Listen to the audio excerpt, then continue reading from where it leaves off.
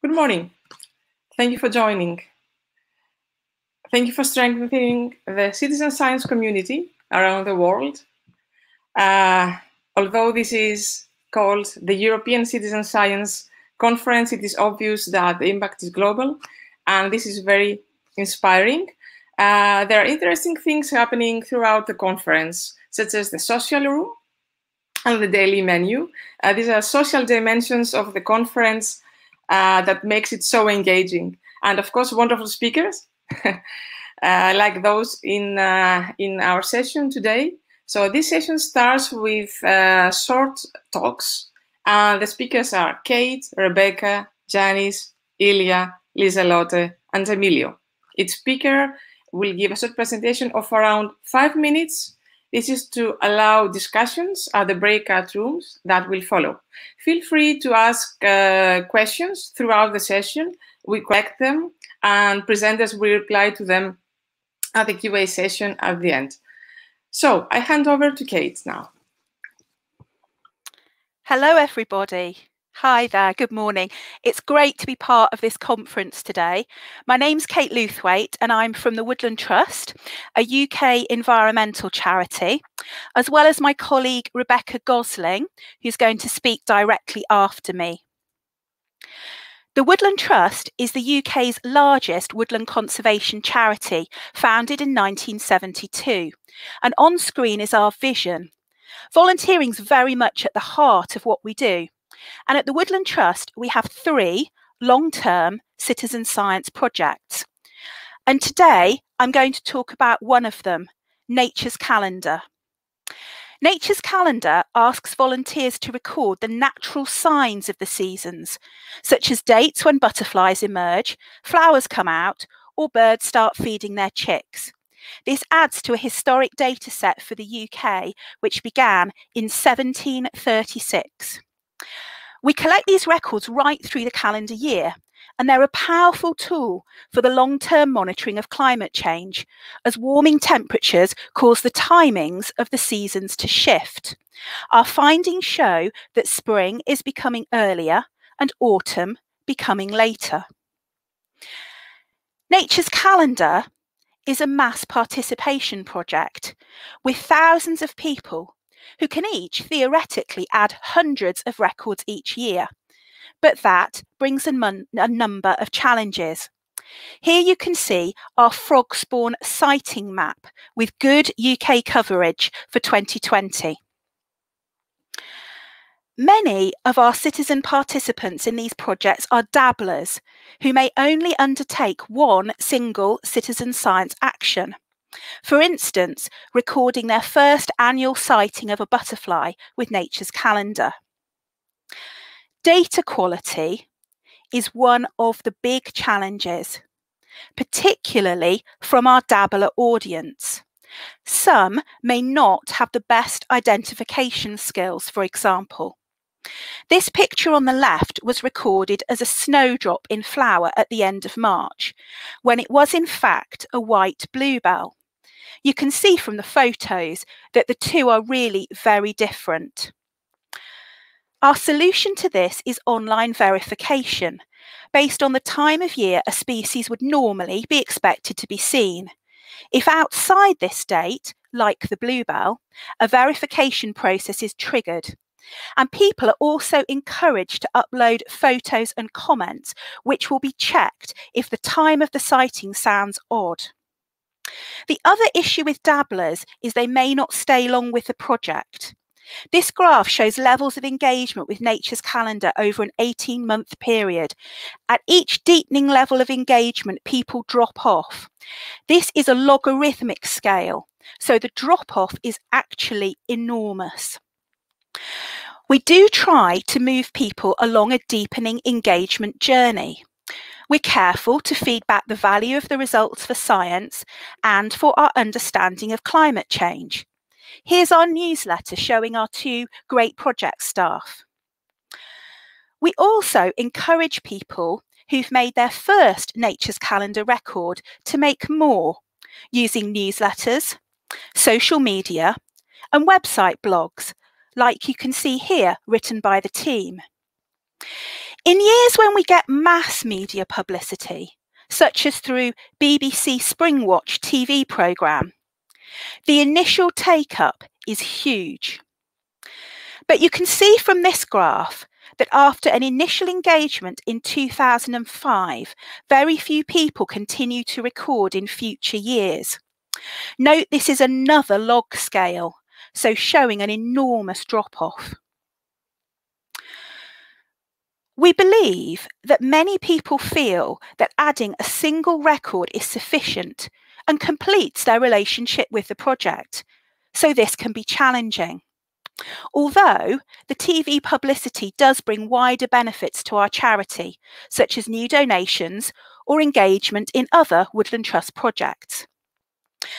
And as you might also expect, the number of people making a large number of records in a single year is not enormous. These people marked with the arrow on this graph are our highly valuable super users. Note this is another log scale graph. Most people enter records via our website, but a few still record via paper forms like this one. The paper recorders are generally our super users. Some of them have recorded with us for 20 years, spend many hours searching out species to record, and returning almost complete forms. For instance, Valerie Hurst, who has added 672 records of different species in the past decade. She's also one of our media stars. Here she is in a promotional film. Plus, she blogs for the project website. Of course, someone that adds a single record a year, but adds it for the same species and event every year for 20 years, is also a super user. This lady, Jean Coombs, has been recording oak budburst every year for 50 years. 50 years. If you look at the red trend line on this graph, you can see how much earlier her budburst sightings have become, we believe as a result of climate change.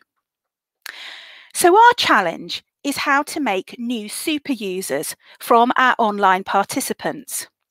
We know this type of intensive nature recording and annual form filling only appeals to certain groups, but those people can be very committed, especially if the project ties in with their natural interests to seek out and record nature.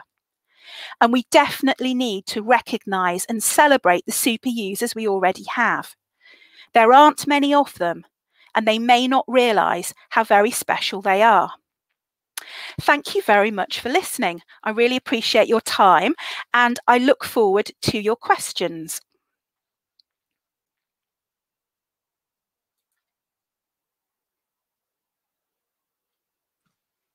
Thank you very much, Kate. Our second speaker will be Emilio. I hand over to Emilio then. Thank you.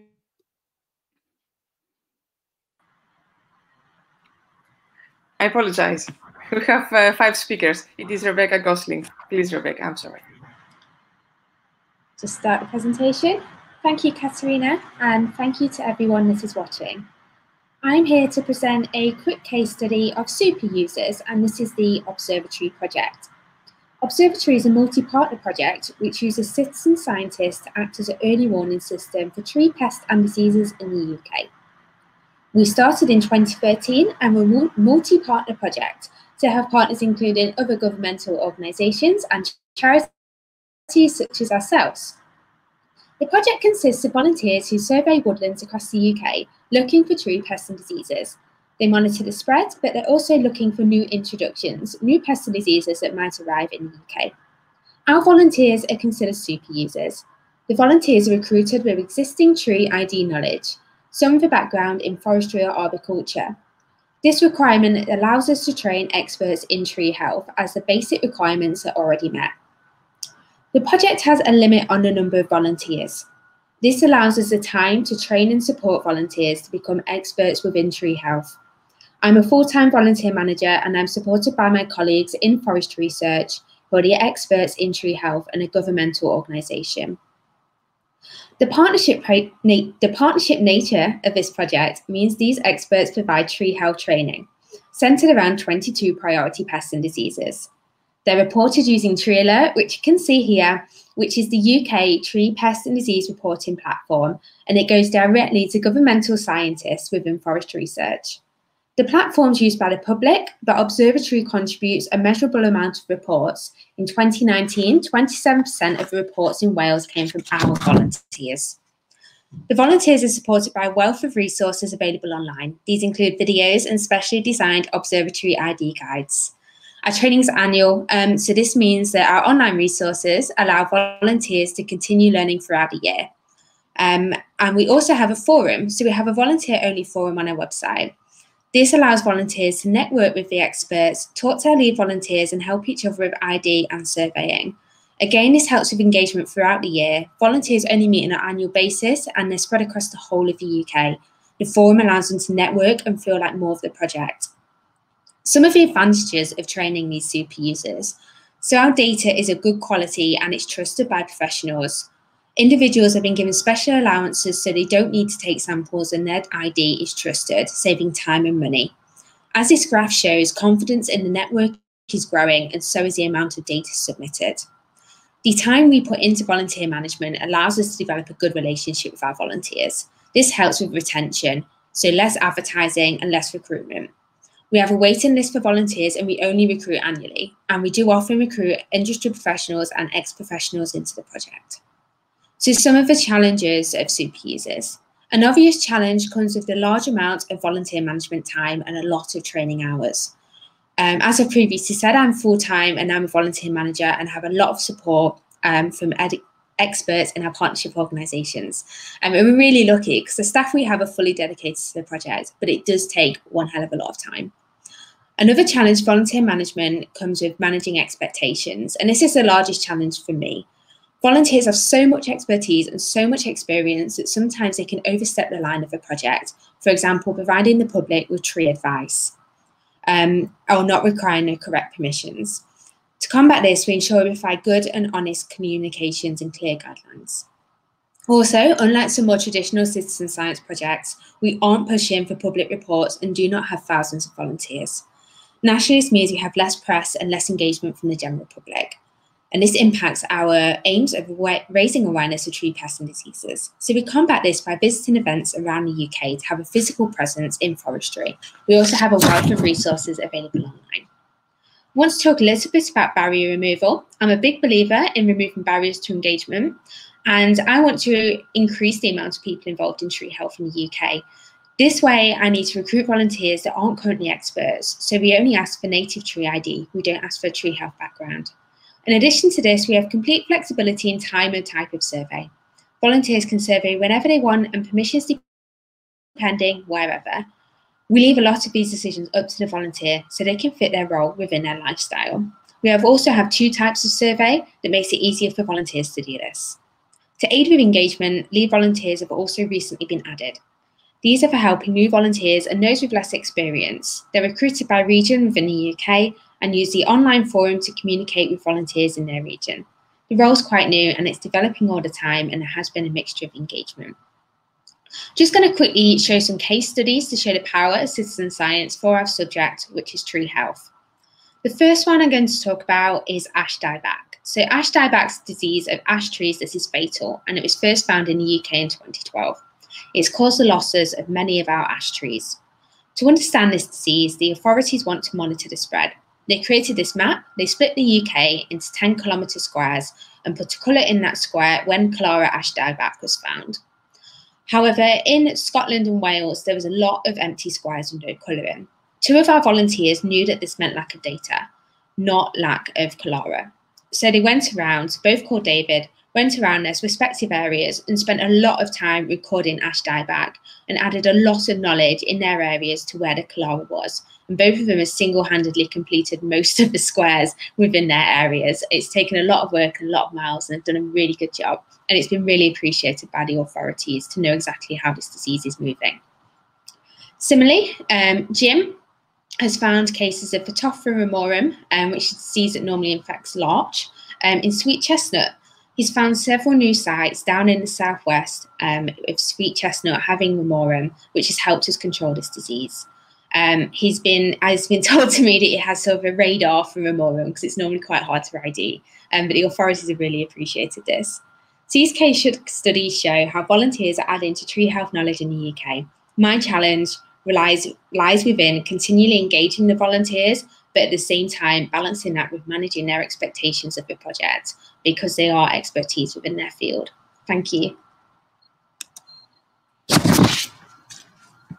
Excellent. As we collect questions for Kate's and uh, Rebecca's uh, talks, thank you very much. Do uh, put your questions in the chat. We collect them. And of course, this panel emphasizes discussion, so, so there will be breakout rooms with each of the speakers taking the role of the um, mentor or let's say a facilitator of the discussion.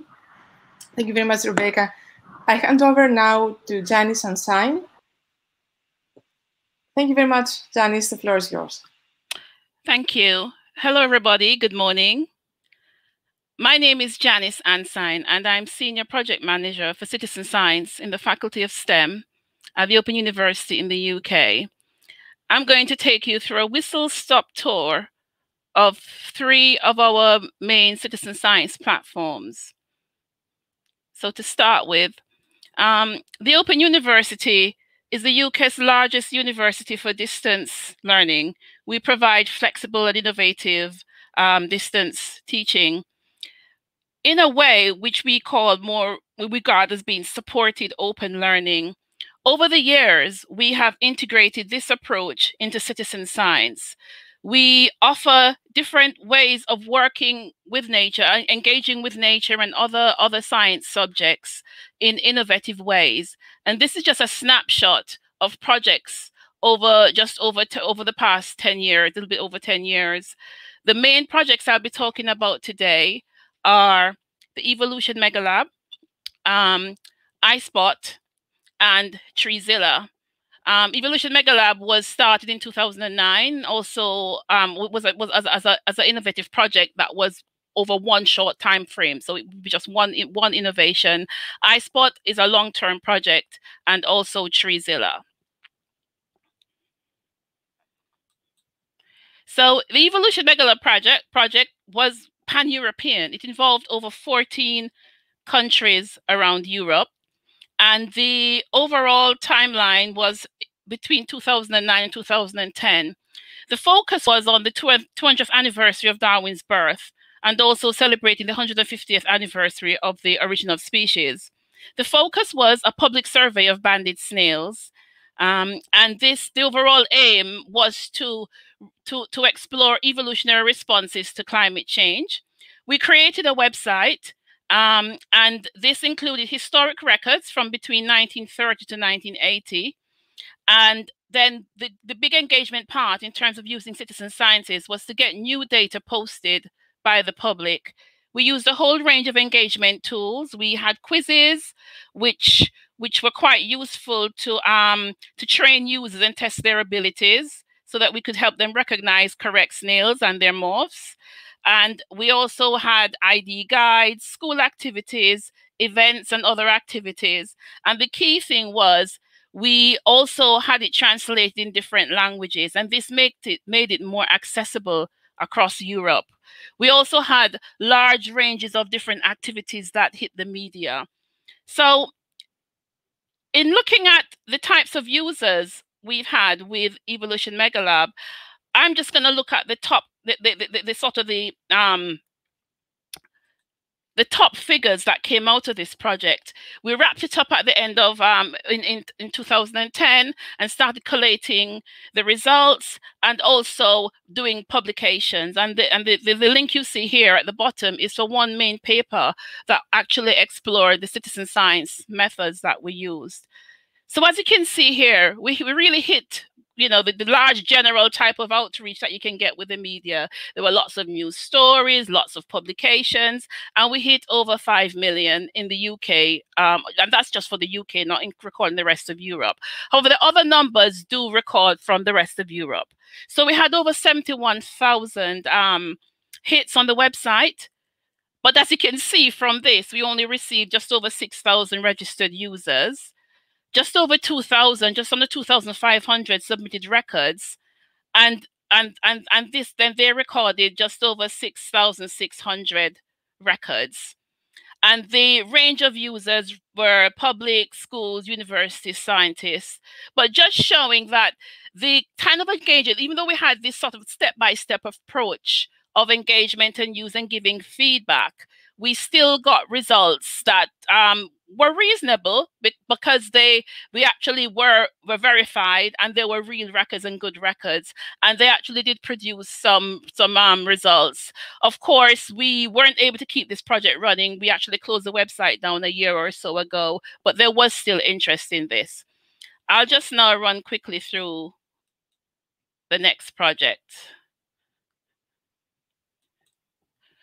So um treezilla our monster map of trees. Uh, we launched Treezilla in 2013, and the main focus of Treezilla is a platform for citizen engagement. At the same time, it's a resource for learning about trees, a tool for recording trees, a, a standardized database for trees, and a platform for collaborative surveying. So we work with a number of different organizations to get their data onto Treezilla. And the key thing with Treezilla is that it calculates ecosystem service assessment of, of trees, so the value of trees. As you can see, it's a snapshot of what we have on the site at the moment and the different areas of, of the, the different categories that it calculates. The key thing about Treezilla is that it will help anybody learn about trees in terms of how to map them.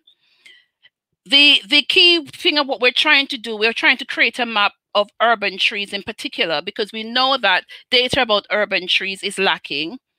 And at the moment, only 1% of urban trees are in open maps. So we're trying to sort of fill this gap what we've achieved with Treezilla so far. And just to note, we have a we just launched our new website, um, and um, and there's also a new app available. We're still working through kinks. It is in a in in a, in an alpha phase at the moment, so we're taking comments and so on. So do please have a look and let us know. So so far, we have over a million tree records. Um, the smaller scale, we have only a thousand registered users. On this, about 400 or more active in that they've been using the site in the past um, 12 months. Um, most of these users add two to 10 trees. And the users range from different groups, public authorities, tree wardens, schools, universities, etc. And interestingly, we do get lots of downloads from public authorities and those who manage tree data sets. And so 98% of our records are from these types of sources we use it in teaching. And so, for one example, is our OU students collect data as part of an assignment, and they identify and research and identify research questions. And over 2018, um, almost 5,000 5, 5, trees were added by um, 200 students. So it shows the type of users who are really engaged in this process and get something out and get this additional element out of it, the additional area of learning. And now to iSpot. Now, iSpot is a major platform that the OU launched in 2009.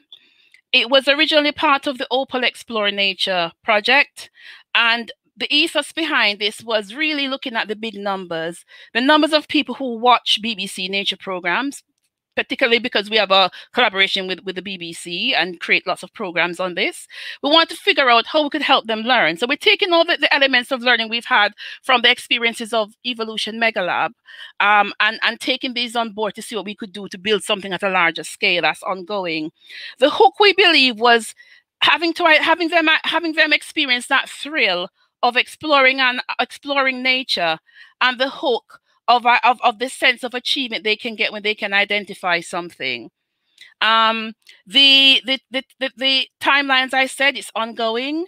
Um, we had overarching aims that focused on lowering barriers to ID, making nature accessible, building a new generation of naturalists, and of course, contributing to biological data recording. The site has innovative tools, and we use a whole range of, of, of different engagement mechanisms. So one of the key things about iSpot is this emphasis on learning. and the way the site is set up, it, it, it, it, we, we look at this experience in these five different ways, the site and the things that are attached to it in terms of mm-hmm. engaging our users. So they can browse, they can uh-huh. browse iSpot, they can identify, they can contribute, and they can personalize their experience and gain recognition through quizzes and assessments. And they're exactly. running out of time. Yes, thank you very much. So um, this is just a snapshot of the results from iSpot so far um, as you can see, the top ranging going down to the to to to 10 to, to the users who have actually registered and added identifications and agreements. And of course, our super users, a lot of them come from different expert organizations and scheme societies who support users by giving comments and feedback. I will stop there and open up the floor for questions later on. Thank you.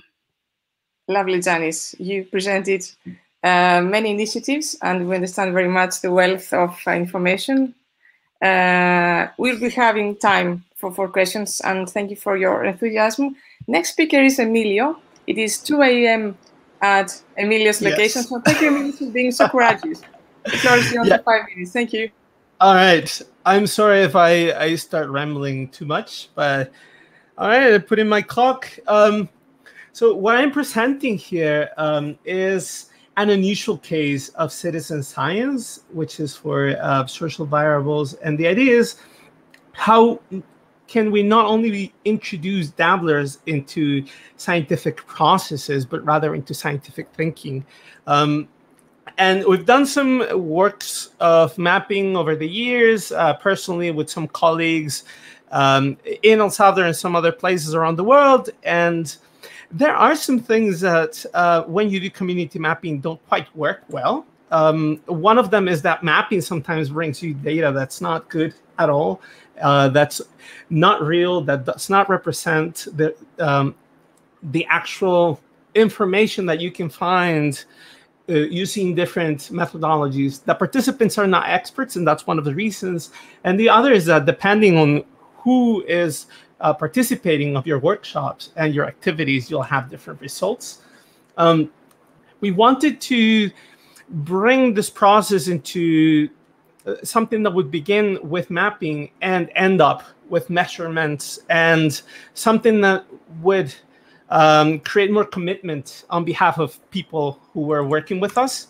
The context of this project was for communities downtown in San Salvador uh, from different age groups, and the objectives were um, to do mapping of social variables related to violence in the city, but also to monitor later on uh, environmental and social variables using this uh, initial set of data.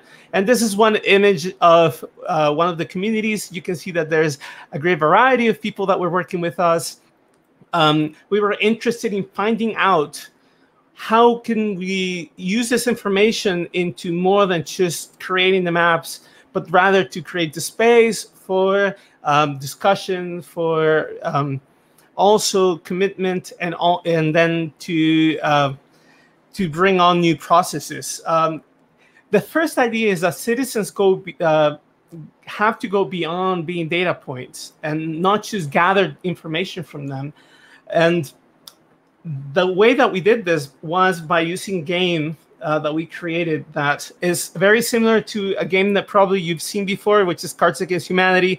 We have two stacks of cards. One is uh, locations, the other is uh, scenarios, and people would draw cards, and depending on what they would find, um, they would read it out loud, and then people would vote. And we would get an initial set of data that would not necessarily be the reality of what we wanted to find if we were to do a more uh, intensive approach to gathering information, but rather it is about finding out what they think and what what, can we do with this initial set of information in terms of uh, immersing people into thinking about their um, locality and what are the initial assumptions that they have to think about.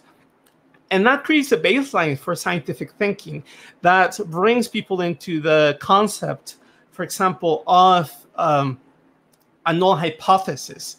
And we use this to move forward. So this is one of the um, set of data that we had Um, as you can see, this is what you, usually would call a, a heat map. And we would simply use this for people to start having discussions around the data. We would bring them at the end of the workshop and we would make them owners of this information. We would give them copies of this for them to think about it, to discuss, and to say, yes, we found this, but we're not too sure to create this discussion.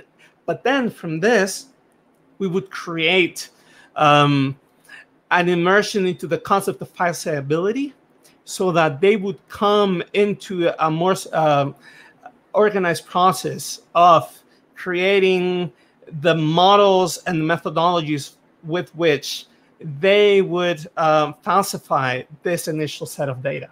And that, that was uh, a very good process for us. And we saw that participants would be very engaged in, um, in coming from being a dabbler, a person who would only come to one, one activity, see what was happening, to work with their community. Um, in some cases, we had children bringing their grandmothers and start discussing not only about what this data is, but how to measure it, what tools can be used.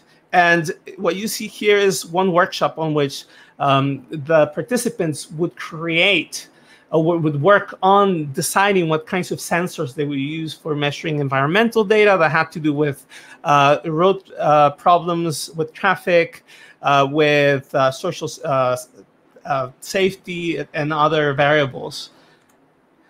And finally, that simple data collection analysis can engage participants. So we come from a game to participation to a result that comes back to the community instead of being the usual facilitators that come to one place, gather information, and then bring it back or put it on the cloud far from some of the users of this information.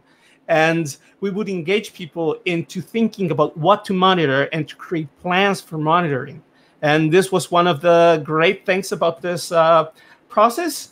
And that is how we finish. And uh, thank you very much. And I'll have time for questions later. Perfect timing, Emilio. Thank you very much. It is so inspiring to see the citizen science community uh, globally uh, and the, the, wealth of uh, practices. Uh, perfect. Uh, please do ask questions for Emilio. Uh, next speaker is Alice. Alice, the floor is yours. Thank you very much.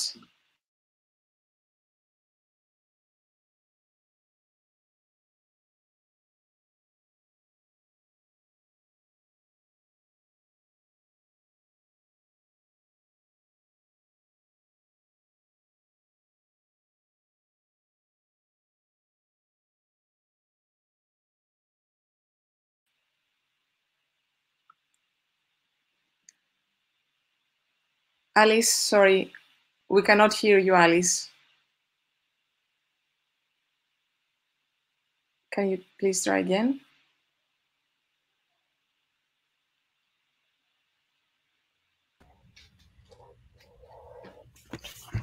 Right. Yes, there's hello sound coming in. Please, Alice. You can see. Okay. Um, hello, everyone. I'd like to acknowledge the traditional owners of the land on which I join you from today. This is the traditional land of the Gadigal people of the Eora Nation. And I acknowledge I'm, that I'm, this. I'm, ter I'm terribly sorry to uh, to ask you. We do not see your slides, but we hear you. This is at least okay. Um, Can you please share your slides?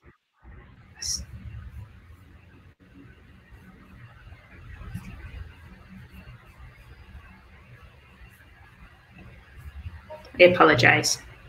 We'll try one more time. Happens to everyone all the time.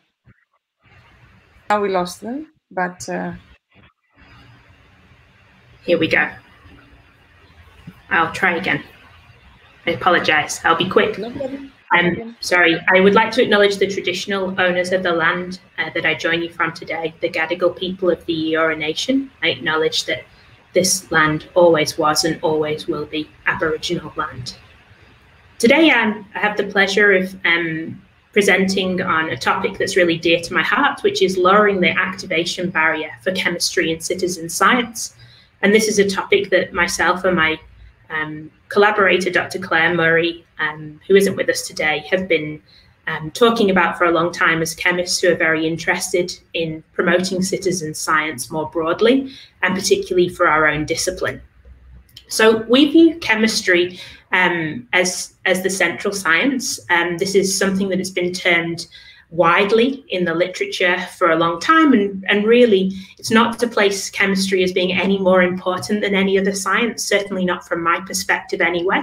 But just to acknowledge that it plays a role in bridging um, the physical sciences and the biological sciences, and that lots of disciplines exist at the periphery of chemistry, where chemistry meets biology or physics, for example. We have some examples here of astronomy and um, of botany, of quantum um, computing, of medicine, and all sorts of different things.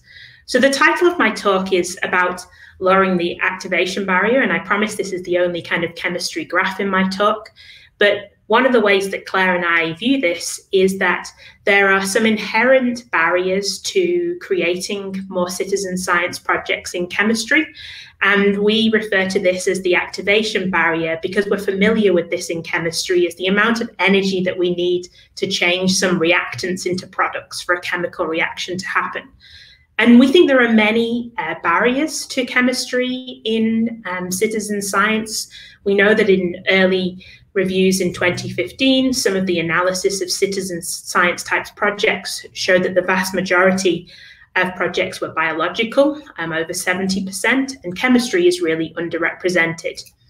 Some of the reasons for this could be because of the inherent challenges of using chemicals, of ordering chemicals, of ne needing special equipment, of needing um, laboratory access, um, of people not feeling um, like they have uh, the right places or the right spaces to perform chemical uh, reactions or chemical projects within the community.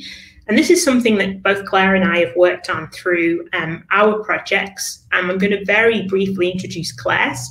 I hope that you'll have the, the opportunity to hear more from Dr. Murray at another, at another time. But Project M is a project that Claire um, and others launched at um, Diamond Light in the UK. And this is a project that's exploring calcium carbonate, um, this very important substance that makes up um, many of the carbonaceous species within the seas and the oceans. And she designed, along with others, a project where school students would be involved in making different polymorphs, different forms of calcium carbonate, according to some procedures that were sent to their schools. And each of these uh, 100 schools made 10 different samples, hence the name Project M, which overall aimed to have 1,000 samples for analysis. Um, and the students were given instructions about how to prepare these before they were sent back to the beamline and analysed. So I'm going to move on to, to the project that, that I lead and spend a little bit more time on that um, within the, the amount of time remaining. Um, and this is a project that's about making medicines with high school students and undergraduates. And when you first mention this to people, sometimes they conjures up ideas of this character. This is Walter White, who was the affable chemistry teacher in the hit um, AMC TV series Breaking Bad. But if you are not lucky, it conjures up the person that he became, a notorious crime lord, um, Heisenberg, who was making illicit substances with an ex high school student. That's not what we wanted to do at all. Um, so we named our project Breaking Good because we're trying to make medicines that matter. Um, and over a number of years, we've worked with undergraduates, hundreds of undergraduates, and a smaller subset of high school students to recreate um, expensive medicines or to make um, drug candidates for malaria in their high school labs or in the undergraduate laboratory.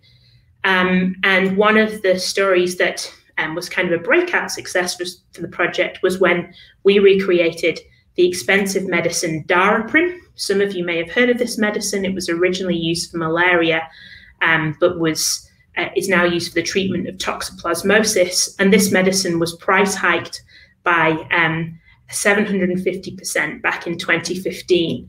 And so a group of school students worked with us to recreate this substance very cheaply and efficiently in their efficiently in their high school labs. Um, and this made some international news because the substance was worth worth in heavy air quotes a lot of money in the US at the time. Um, we want more chemists to be involved and we want to remove some of these barriers. So we've done some surveys, uh, very um, uh, initial surveys just on Twitter of the chemistry community to ask um, people, chemists in the community, if they would consider um, being part of chemistry um, citizen science projects and started to explore some of the barriers so that we can remove them, hopefully. Um, and one of the things that I've been trying to do for the last couple of years is to celebrate chemistry based citizen science projects in a column that's hosted by the Royal Society of Chemistry. Um, I'd like to thank you very much for listening to my talk. I'm very, very sorry for the technical hitch at the uh, beginning, and I look forward to answering some more questions in the following session. Wonderful, Alice.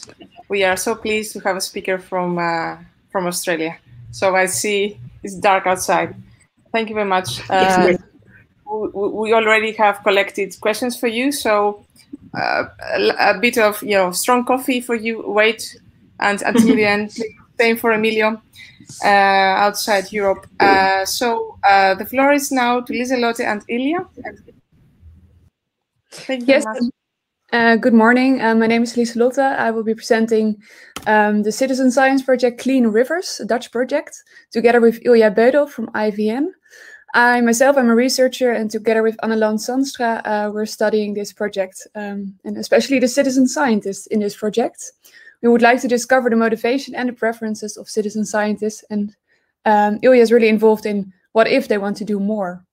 So the Clean Rivers project, also called Schone Rivieren in Dutch, um, started in 2017, and more than 600 trained participants monitor waste along river banks they use the OSPAR protocol to categorize the plastics, and they monitor twice a year 100 meter tracks. There are three big partners in this project, IVN, uh, Ilya. She is really involved in the education and training of the volunteers. The other two big partners are Plastic Soup Foundation and uh, Foundation the North Sea. They are involved in the protocol, the analysis, and the lobby. And the external partner, Leiden University, uh, we study the citizen scientists. So we did a motivation study and we uh, surveyed people before and after the monitoring, and uh, some uh, something about the backgrounds of the citizens. They're quite old, at least um, average age is 55, and also they have a, a higher education, mainly 70%. Um, and um, what we also tried to find out is why they participate, so this motivation. And we saw that um, it is mainly activistic why people participate. They want to do something about the plastic soup, and they uh, are disturbed by the litter and want to improve uh, the environment. And why they actually want to study the waste, monitor the waste, is uh, because they want to tackle the problem, uh, tackle the source, um, and also help force uh, government or companies to take measures to prevent the waste. And we saw that there was a bit of a shift towards more activistic um, motivation uh, when we surveyed after the, the monitoring. And we can really see two types of, of motivation, um, but it's mainly activistic. So trying to tackle the source, um, collecting info, uh, force measures, more than uh, that it's just fun or nice to be outside or learn about uh, litter. And we also found that, um, yeah, there were no significant differences between people having these different motivations. And regarding feedback, they yeah they're actually quite interested in in overall outcomes than watching their own data, and also interested in yeah these action steps. Why what we will what will we do with this data? So we're monitoring this motivation throughout the project longitudinally, and we're also studying some other aspects like we're uh, mentioning them with the name river litter researchers. Yeah, using this name and 74% sees themselves as a litter researcher, but 26 doesn't, more like data collectors. Regarding their experience with cleanups, uh, many people have some experience, 88%, but only 25% collect data during these cleanups. The people that don't collect data, 64%, they think that cleaning up is more important, uh, or didn't consider this, or takes too much time, or don't know how. Of course, also people are more committed in their daily lives, also thanks to this project. They, um, yeah, they're doing actions in their own environment, in their own daily lives. And 41% actually wants to do more. 8% only, yeah, they don't need to do more. They think this is enough for them. The people that want to do more, they actually, um, 47% wants to minimize their personal use of plastic packaging. And 18% wants to address their network, their people in their network to stop using disposables as well. 35% yeah, wants to lobby, educate people, or set up cleanups, for example. So, Ilja? Yes, then we come to my part. So I'm more engaged with the, with the participants. And I find, as the numbers show, um, participants always want to do more, or not all of them. Uh, so what, what do you do then? Well, my first action is to um, organize them. And um, to organize them is, is really to facilitate leadership. So if you see people who want to take up leadership and want to uh, start a local lobby action or whatever, uh, facilitate them, but also be inviting to uh, and open to new ideas and see what they need and see what they um, are um, encountering in their local communities. Uh, another way to organize is, of course, we've heard it before, offer training in skills and in knowledge and give access to knowledge. Um, on our website, you can find many uh, things that uh, volunteers can download, can watch to, um, to, to make more impact in their local communities. Uh, another way to um, uh, to work together is organize events together. And if you organize events together, you, you are more in touch with the um, with the needs of the of the of the users of the dabblers. And this is one of the pro products we we uh, uh, made together. And it's a uh, the the researchers said, well, we know a lot about the litter, but we don't know so much about the um, nature and and this flyer sort of um, makes it in um, makes it uh, visible, the both sides of it. Now the other um, uh, the training we do is in storytelling, so creating ambassadors and uh, trying to uh, helping them to tell a strong story about clean rivers, and also trying um, a, a lobby training in which they learn how the local government works and how you can uh, approach them best. Um, and we share knowledge by, for example, webinars about the results of the project of Clean Rivers, about European legislation, which is coming up, and also in um, local lobby with your local government.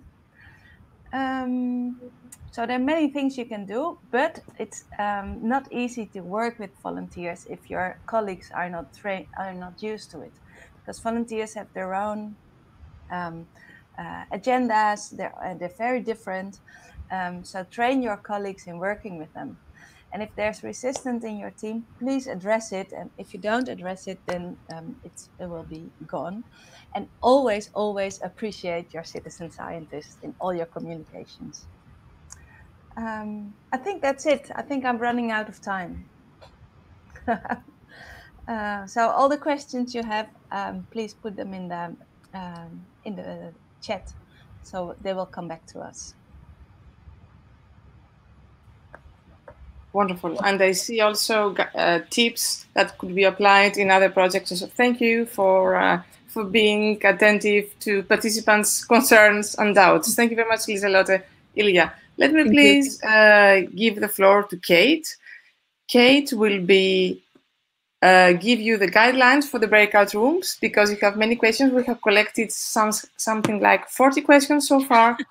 uh, thank you very much for the speakers for not only delivering information but engaging with the audience in, in talks. So, Kate, to you, and then the, the link to the Zoom will be shared. Thank you. Yes, and I echo Katerina's thanks. That's some really, really interesting talks. Thank you. So, as Katerina said, the rest of this workshop is now moving to Zoom so we can have some proper interactive discussions. Uh, we were down to have two 15 minute sessions um, and then a plenary, um, all on Zoom. I'll leave it to the discretion of our controllers to work out how to divide up the time. So, all you need to do as a participant is follow the Zoom link. You'll automatically get put into two. Uh, um, short discussion sessions, each facilitated by a speaker. Uh, speakers, reminder to you, please take notes and be prepared to report back in the plenary session. Um, so it just remains to me to say thanks to everyone and please have a look at the Vimeo chat, follow the link, and we look forward to speaking to you soon. Cheers.